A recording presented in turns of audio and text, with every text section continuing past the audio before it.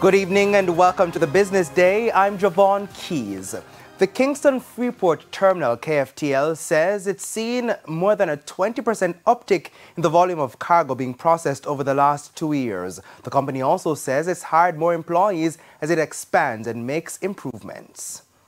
While shipping bottlenecks tightened, the local ports were strategically positioned to benefit from more Jamaicans doing online shopping and eyeing new trade links. CEO of Kingston Freeport Terminal Limited KFTL, Captain Jose Miersky, says the terminal has seen more than a 20% increase in the volume of cargo handled. Year of 20 to 22, KFTL, KFTL volume grew 28 percent. It's meaning that from roughly one and a half million thousand TEU to two million TEU. The number, the number of our employees also grows, grows massively. In the last two years, we have employed 220 people. The CEO has also been vocal in the last few months, indicating the terminal could also do with more space for the increased volume. Prime Minister Andrew Holness says the government will be looking at adjacent lands to allow for the port's expansion. While speaking at the handing over of 19 new straddle carriers worth 20 million US dollars at the port today, Mr. Holness says the port's performance shows the importance of public-private partnerships PPPs. The role of government is not to be operator of everything.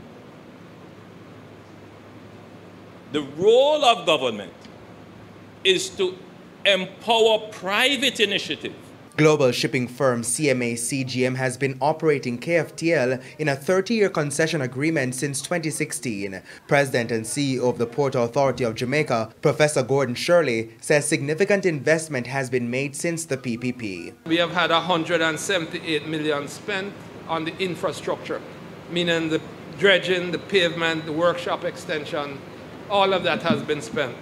54 million has been spent on equipment, aside from the 19 straddle carriers you see here. Another 10, so 29 straddle carriers have been acquired, along with two gantry cranes, uh, 19, 19 terminal tractors, six empty container handlers, six road heads, and 14 forklifts. There, and another 16 million has been spent on new information systems. To some monetary policy news now, the Bank of Jamaica has intervened in the foreign currency market twice this week. A total of 60 million US dollars was pumped into the system between today and yesterday. It's about the 10th intervention since the start of 2022. Now today, eight banks and five cambios received shares in the flash sale. The National Commercial Bank NCB received the largest share, followed by JMMB and JMMB Securities. And after that flash sale, the US dollar is being sold for an average $154.13. $113.28 is the going rate for the Canadian dollar, $175.56 for the pound, while it's costing an average $152.07 for the euro. The JSE index fell by 1,739 points today, while the junior market index lost 12 points. Among the winners were Eppley, Lumber Depot, Salada Foods Jamaica, KLE Group, and Lasco Financial Services. The losers included 138 Student Living Jamaica Variable Preference Shares, Iron Rock Insurance, Eppley 7.5% preference shares, CAC 2000 9.5% shares, and Everything Fresh. And that's the business day. I'm Javon Keys. Good evening.